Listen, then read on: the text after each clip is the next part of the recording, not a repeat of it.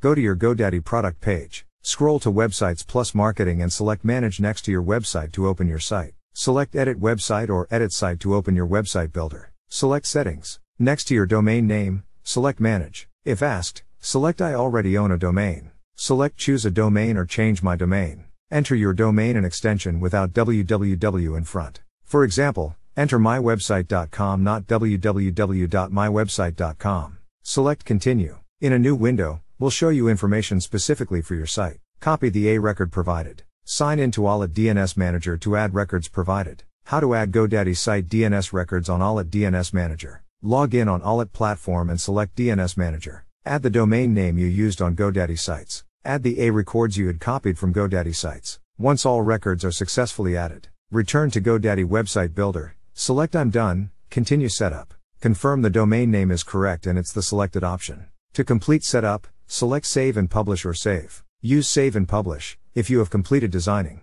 Use Save if still designing website